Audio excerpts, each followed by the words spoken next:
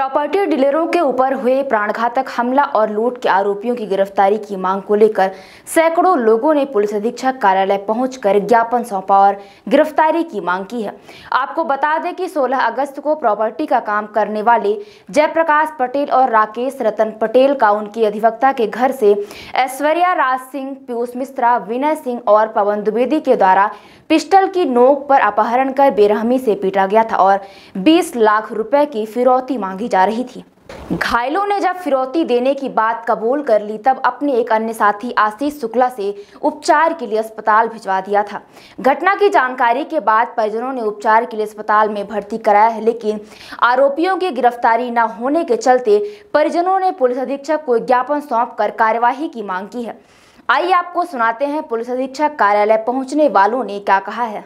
चार दिन पहले जो एक बालक राकेश रतन जो प्रॉपर्टी डीलिंग का काम करते हैं उनके साथ जो मारपीट हुई है जयवीर सिंह जेपी। पटेल दो लड़कों के साथ बेरहमी से मारपीट की गई है।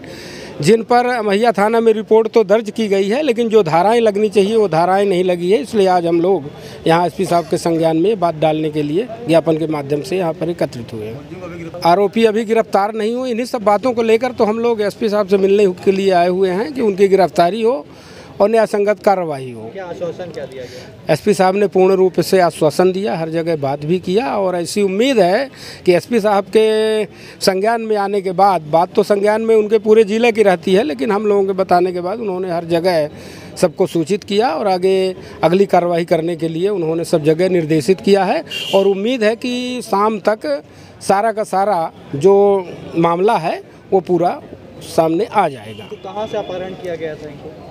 अब सिरमौर चौराहे से इनके घर से बुलाया गया था। इनको किसी बात के समझौते के लिए लेकिन ले जाकर कहीं अन्यंत्र स्थान में इनके साथ मारपीट की गई थी।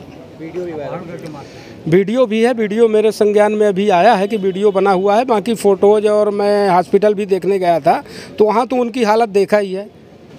किस बेरहमी से मारा गया है उन लोगों को? माने इस तरह से अपराधियों को नहीं मारा जाता जिस तरह से पुलिस नहीं मारती जिस तरह से उनके साथ कृत्य किया गया है।